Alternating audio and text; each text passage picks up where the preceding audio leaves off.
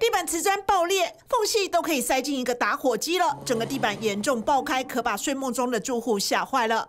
哦，咧困二楼安尼，三楼啊，别别叫啦，哇，打都起啊，四界。其实不止没人住的三楼瓷砖爆裂，三天前一楼的厨房也是瓷砖连环爆。当时师傅拍下照片 PO 网，瓷砖一个个隆起，惨不忍睹。安尼，我是有感觉吼，安尼拍拍啦，你行路拍拍，我讲啊惨啊惨啊，他就食力啦。第三天也拄啊坐咧看电视，看拄久。嗯。啊，伊直壁啦，哦，厉害啦，规个厝拢落去啦。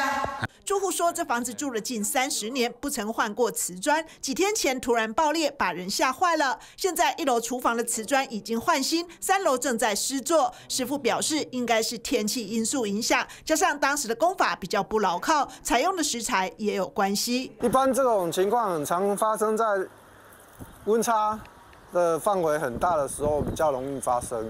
现在工法是这个瓷砖，瓷砖有上面一层粘着剂。跟这个地板也有上一层粘着剂，然后这样它的粘着效果会会比较牢固一点。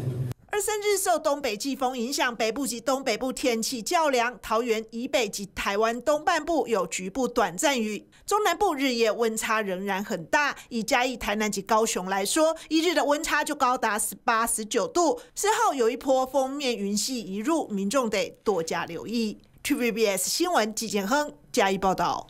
请支持专门报道国际新闻的全新 YouTube 频道 TVBS 国际 Plus，扩大视野，掌握趋势。邀请您订阅并且开启通知小铃铛。